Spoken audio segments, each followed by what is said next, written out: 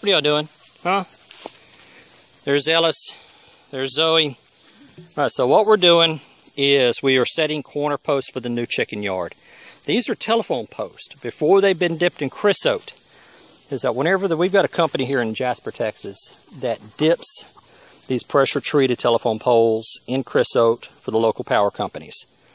And these before they're dipped, if they're damaged in any way, then they will sell them as a cull at $2 a foot.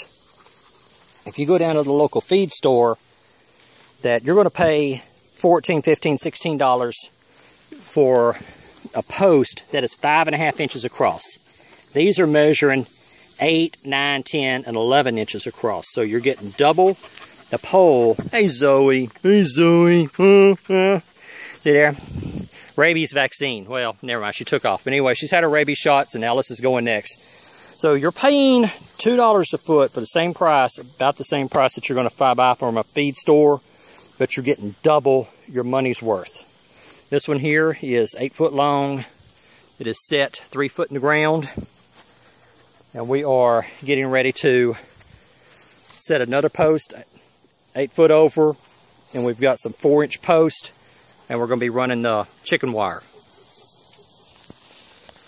What we did, we run this line using six foot six inch tall T-post. We've got the wire in the back of the truck. We've got these two corner posts set and the fence is going to be going back that direction. All right, so this is what a damaged post would look like. You can expect to find this type of damage on it. There's like some type of impact happened right there. I don't know how good y'all can see that. This is uh, with my new smartphone. So I don't know if this is the first video with my smartphone, so I don't know how it's going to turn out. Some type of impact happened right there and may have broke this section off. But what I've got is instead of a five and a half inch post for 16, 14, 15, 16 dollars, the bottom of that is 10 and three quarter inches. I hey, Buddy, what are you doing? You're marking my post? That's my cousin's dog. The bottom of it is 10 and 3 quarter inches. Measured the base before my cousin and I set it. So that is twice of what, almost twice of the size of pole you're going to be getting for the same money. Twice the pole, same money. That's hard to beat.